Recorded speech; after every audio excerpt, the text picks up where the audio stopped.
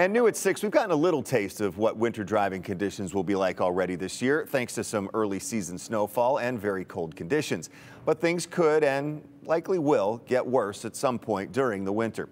So this afternoon, nearly 40 law enforcement and safety agencies came together to bring awareness to winter driving and offered some tips to those who may be new to the area or maybe need a refresher on the correct way to drive in conditions such as black ice and snowy roads please use caution and only go out if necessary.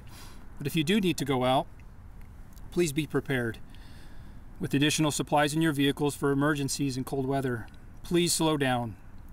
Give more space to drivers in front of you. Do not use cruise control and avoid fast acceleration and de-acceleration.